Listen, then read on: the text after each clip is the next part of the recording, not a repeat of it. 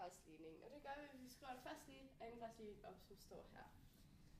Det vil altså sige ax i anden plus bx plus c er lige med 0.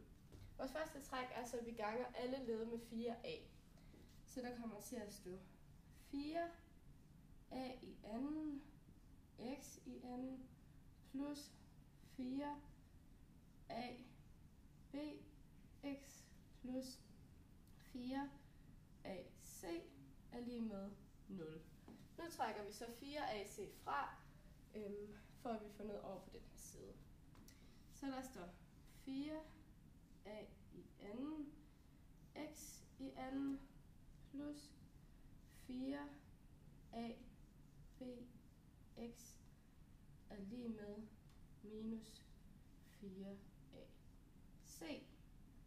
Det næste vi gør, at vi lægger b i anden til på begge sider, fordi så fremkommer noget her, og vi kan bruge, øhm, så der kommer til at stå 4a i anden, x i anden, plus 4a plus b i anden er lige med b i anden minus 4ac. Og her må Line lige fortælle os, hvad det her vil. Ja, fordi b minus 4c er faktisk det, det som diskriminant d er lige med, og det vil jeg lige skrive. d lige b i anden minus 4a c. Så det kan vi altså skifte ud med d det her over. Men inden vi lige gør det, så vil vi også skrive det her om, så det kommer til at ligne mere den kvadratsætning, vi kan se, vi har gang i med et kvadrat på første led og på andet led og et dobbeltprodukt. Så for at gøre det mere tydeligt, skriver jeg lige herop, at der kommer til at stå 2 øh, ax i anden plus 2 af det første produkt og det andet produkt plus det dobbelte produkt er lige med d. Og her kan vi så se, hvad man kvadratsen gør. Det vil Malene lige vise os, hvad Ja, det er lige med. Vi er nemlig i gang i første kvadratsætning, som hedder, at a i anden plus b i anden plus 2a b lige med parentes a plus b i anden.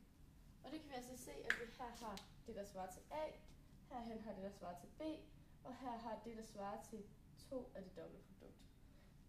så vi kan skrive det om til, at det er A, øh, nej, 2A x plus B i anden, der er lige med D.